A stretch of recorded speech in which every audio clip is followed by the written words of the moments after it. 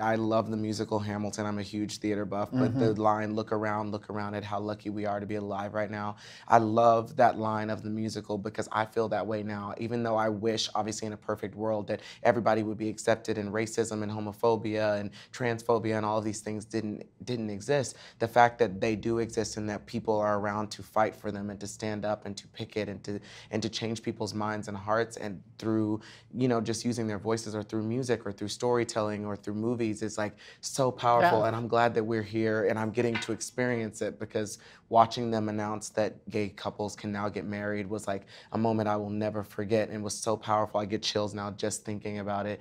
To be alive when that happened and to say that I played even the smallest of parts by talking to my kids that watch me on social media, mm-hmm. that's just, that's amazing. And that's how change is formed. So, and I love that we're having these conversations. They need to see somebody ebullient and gay and happy they're yes. gay and happy about life. And then they look up and they don't feel like the pariahs that they always did. That's a and touching part of life. Yeah, it sometimes it takes change in your own life. A lot of people are out picketing until they realize that their own son or their own grandchild. Mm-hmm. Sometimes if you stop and take a look at your own house and your own backyard, as Judy Garland so beautifully says in The Wizard of Oz, it's amazing how just that will change your mind and change your heart and help you have compassion and empathy for people who you didn't think that you had anything in common with because it might be the people in your own home that are struggling with these same.